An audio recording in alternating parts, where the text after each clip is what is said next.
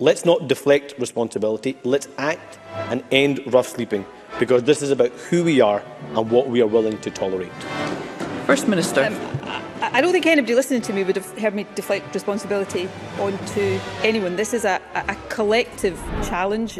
Central government has a leadership obligation. Uh, local government has a big obligation here, and I'll come back to, to that in a second. Uh, but we work with fantastic charities and voluntary organisations uh, who do most uh, on the front line of this.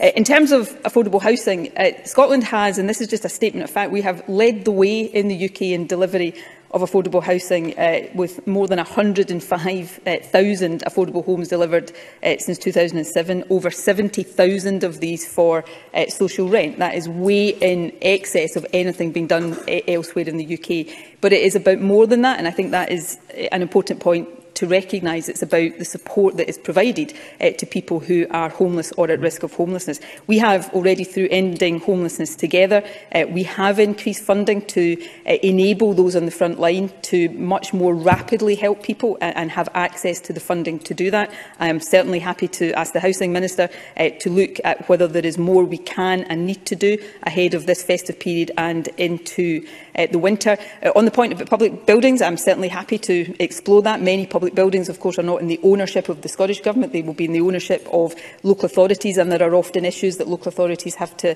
uh, deal with around that, and we've seen some of that uh, in Glasgow in recent times. So, look, these are all issues that we take really seriously. We are doing uh, an, a significant, huge amount of work across all of these strands But where I, I want to end on a point of consensus here, presiding officer, I do agree that for as long as one person is sleeping rough on our streets, there is more for all of us to do, which is why I will never close my mind uh, to suggestions and proposals that come, no matter where they come from.